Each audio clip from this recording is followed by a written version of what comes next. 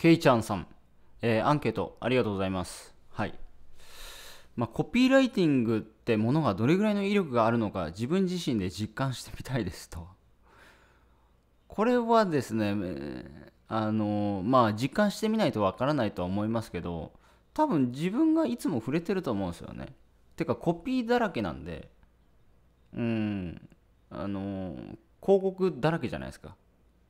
あのコピーなくしてまあなんだろうな。まあぶっちゃけ僕からすると映画の台本とかもコピーライティングですし小説もコピーライティングですしうん。じゃあその今動画の時代だって言われてますけど小説とか本とか本とか100万部とか売れてる本ありますよね。本の文章ってコピーライティングじゃないですか、うん、あのじゃあ本屋で手に取ら手に取ってもらいたいような表紙のライティングがしてるわけじゃないですか。いっぱい本があります本屋の中で。でその中でその表紙キャッチコピーですよね。手に取ってもらうためのキャッチーなタイトルですよね。ん？なんだこれ？とかね。だからこれは多分まあ世の中まあ僕はビジネスを勉強するようになってからまあ全てそういう視点で見るようになったんであこの文章いいなとかあこの看板の広告いいなとかまあ見るようになったんですけどまあ、そういうふうな意識で周り、えー、この中この世の中を見渡すと例えば CM とかも昔は普通にあの別に何の興味もなかったんですけどあこの CM の作り方あこの台本うまいなとかね。多分ねビジネス勉強していなかったら僕そんな見れないですよ。あこの CM の構成台本うまいなとか。多分そういう視点で CM 見たことなくないですか。僕もビジネスやる前まではあの勉強する前まではそういう視点で見れなかったんで。でもそういう視点でも世の中を見ると全てコピーだらけです。なんでコピーだらけだかっていうと全てがビジネスしてるからですよね、うん、ほとんどビジネスしてるじゃないですか。どこ歩いても。コンビニもビジネスだし なんだ喫茶店もビジネスだし全部スーパーもビジネスだしスーパーのポップとかもそうですよね。なんかこれが仕入れましたみたいな。鮮度抜群とかね。キャッチコピーじゃないですか。とか。まあ、あと飲食店入ってもそのポップの出し方ですよね。それもキャッチコピーだし。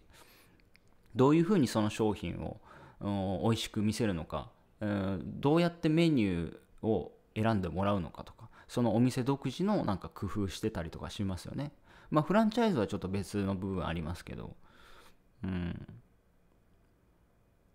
ということでまあコピーはですねまあかけた方がいいんですけども書かないとうまくなりませんのでひたすら書くだけですね。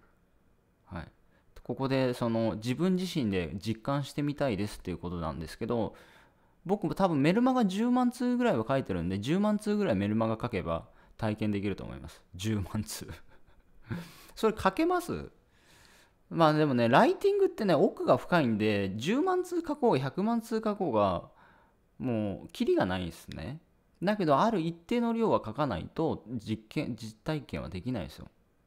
僕まあいろいろ教えてますけどやっぱライティングってあのクソめんどくさいんですよ。でネットビジネスやる人ってその簡単に稼ぎたいみたいなやっぱあるんですよね。